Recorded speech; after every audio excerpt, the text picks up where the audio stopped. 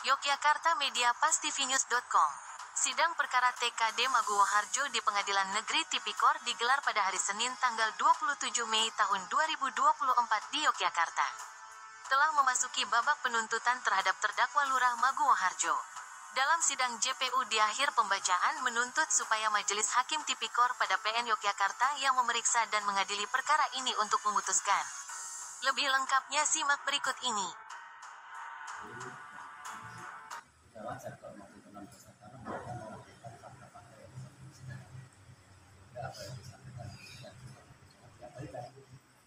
Misalnya apa Pak? contohnya kaitan dengan yang 100 juta. Itu 100 juta kan berdasar kwitansi yang disampaikan itu kan eh, sewa. Tapi itu ya sebulan lalu permintaan dari Pak Kasdi kepada perusahaan dan itu kan sewa sudah dibuktikan ada data finansial Nah, itu termasuk salah satu yang terkait dengan kerugian. Sebenarnya Pak Kasdi tidak ada kerugian. Fakta kerugian tidak ada kerugian karena para kasusnya sudah kembali satu persen ikut aset itu sudah dibuktikan oleh keterangan saksi dari itu sendiri. Pak Aris dari di sekitar hukum itu demikian juga dari hukum jadi tidak ada dengan nah, makanya kan saya kaget itu yang seperti Mas tadi menurut saya luar biasa sekali. Eh, eh, tentunya kami akan melakukan pembelaan sesuai dengan eh, fakta ada. ini tidak adil. Ini tidak adil. Kita ada unsur yang meringankan katanya Bapak sudah mengembalikan itu. tidak semua tidak sebutan atau Oh, tidak. sebutan. Tidak disebutkan. tidak sebutan. Semuanya di semuanya di ya, semuanya di apa ya di lintir semua. Nggak ada nggak ada unsur meringankan Pak Kasih tidak memberikan satu juga kembali loh. Berdasarkan kwitansi Ya, kalau sampai kalau saya dengar di persidangan tadi hakim mengungkapkan ada yang meringankan ada ini. tadi tidak cuman yang memberatkan berbelit-belit itu. Tidak ada yang berbeda Pak Kasih orang sakit gimana itu kan di lintir sekarang sakit apa Pak kasih dulu Pak Kasih itu gimana Pak? Tanggapannya tuntutan enam tahun enam bulan ya terima kasih sudah betul dengan tuntutan seperti itu karena kami merasa tidak tidak apa tidak berkorupsi tidak apa bersama-sama. Karena apa? Kemudian ini hanya hanya appraisal appraisal yang tidak sesuai dengan ya. dengan apa? Apa dari coret yang tidak akurat tidak diakui undang-undang kemarin sudah dibantah oleh Pak saksi ahli kami dari Pak Mutakhir appraisal itu dari MSP karena nggak nggak bisa appraisal kerugian negara dari BPK makanya itu nanti akan kami tuangkan ada nggak Pak Kasih di eh, tuntutan dari Pak Kasih itu sendiri ada pihak yang lain yang harus bertanggung jawab selain Pak Kasih Pak? ya sebenarnya katanya yang Siapa Pak? cukup boleh juga menerima uang bukunya Berapa Pak jumlahnya? Di atas 200 ada satu dua ratus Ada buktinya Pak? ada ya Berupa apa Pak? uang. Pak Pak Kasih saat itu men- menyaksikan ada pembuktian itu Pak. itu sebelum jadi uang Masih di itu Pak. Siapa tadi Pak namanya Pak? Pak Boyo Pak Edi Pak Di juga sebenarnya Pak dan jenengan Ya, Total berapa Pak yang, mereka terima? hampir enam ratus juta Jadi masing-masing semua dapat semua Dari siapa dari yang menyewakan yang termasuk Pak Siapa itu Pak? Itu uh, kesra wong sudah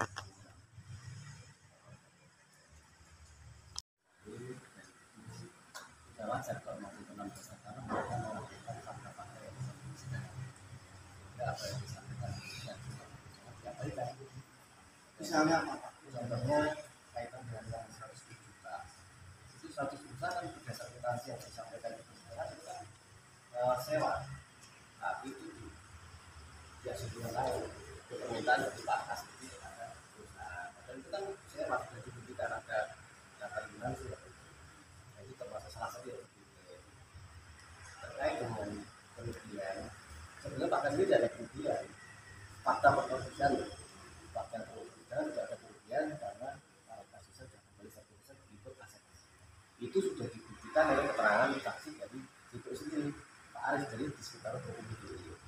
pendidikan kita dari pun jadi tidak ada kemudian.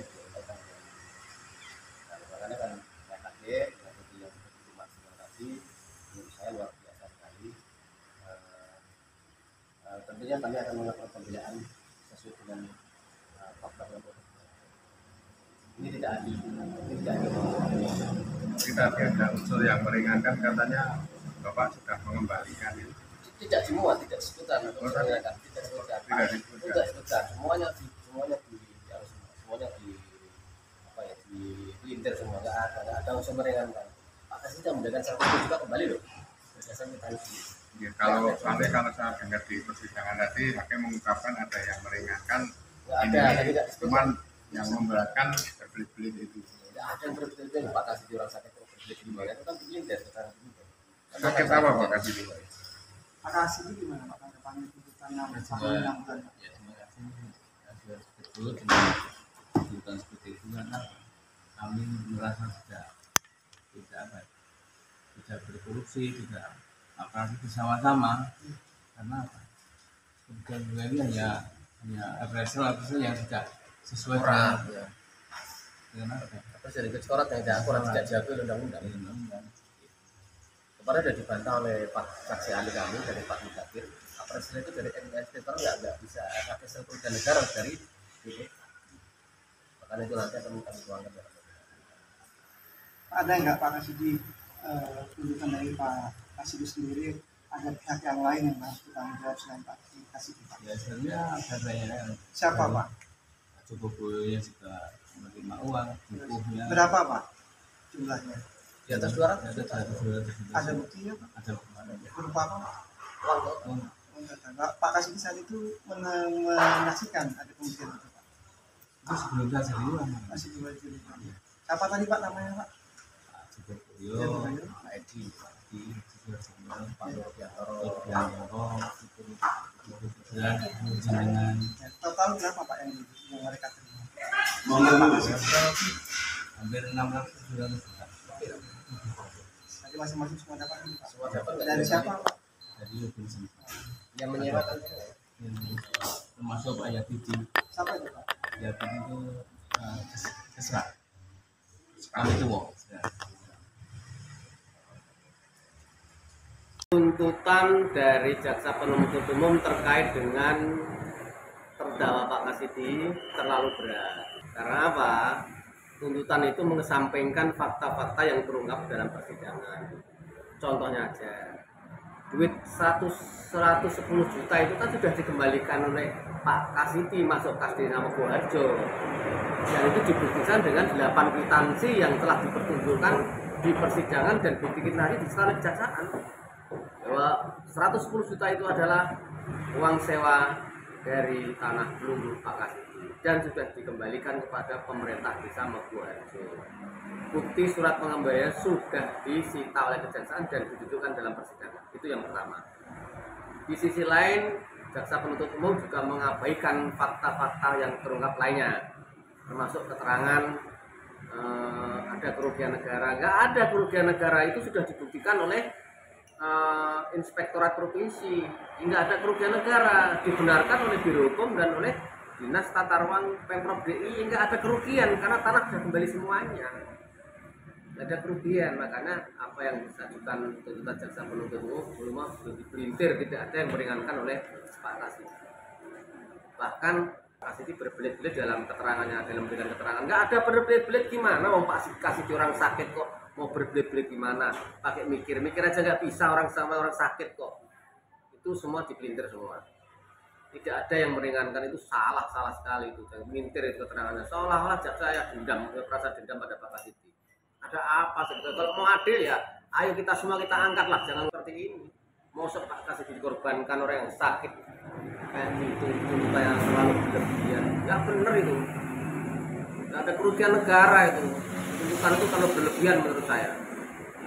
Nanti akan saya sampaikan dalam pembelaan nanti sudah kembali udah dihitung itu. Aset kan kembali 100% nggak ada kurangnya nggak ada justru malah ada kelebihannya. Kelebihannya adalah aset rumah-rumah ya sekitar 400 unit itu. Rumah siap huni yang mau siap disewakan. Rumah yang 400 rumah itu disewakan kepada pihak ketiga oleh Robinson Salino dan itu dikembalikan oleh Robinson ke kelurahan Buarjo kan untung berlipat-lipat.